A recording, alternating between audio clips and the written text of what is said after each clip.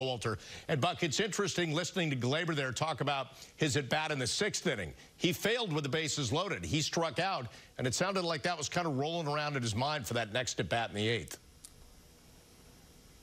You know, Bob, that, that's this time of year. You know, every at bat, you know, whatever's happened to your season, whatever individual you may be able uh, to look back on when the season's over. Right now, it's about that moment. It's about that game. It's about the team. And that's what's so beautiful. When you're in it late in the year, the leaves are turning, you know, every step with a leaf under your foot has a crackle to it. I don't want to get too poetic here, but it's a special time of the year. You got a little temperature change and everything – kind of moves towards competing. What's best for the team? Taking a ball and hitting down the right field corner, uh, maybe a little pop up to left field by Gallo, big throw out. Hey, I'm not starting tonight. I can come in and contribute. Those are the things that uh, you really miss about being involved in October when you're not.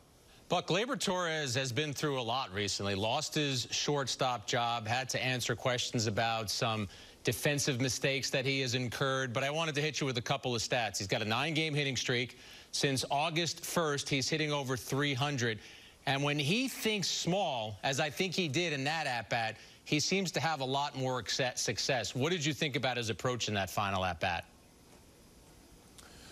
Jack, I think you're exactly right. And I think it's no accident by moving off a shortstop, it just seems to have relaxed him a little bit. You know what I enjoyed the most was seeing him smile and seeing him rolling around at home plate after the slide, seeing him talking to Meredith and smiling. We haven't seen a whole lot of that this year. And, and I think, uh, you know, doing well and contributing to the team and feeling good about your contribution and turn the page on the previous at bat. He had a tough at bat in a key situation, and it could have been a very frustrating night for the Yankees because they had some people on third with less than two out and couldn't, couldn't get it done. Some big arms out of Texas, but at the same time, uh, they're capable of, of uh, handling those situations, especially especially LeMahieu. It really was surprising. You know, you mentioned uh, Gleyber Torres having something to smile about right now in the outcome of this game. You could say the same about Gary Sanchez. He's splitting time with Kyle Higashioka. Higashioka got the start with Kluber on the mound today and had a couple big hits. But it was Gary Sanchez coming up with that home run. Important at bat because it then allows Chapman to breathe a little easier in the ninth.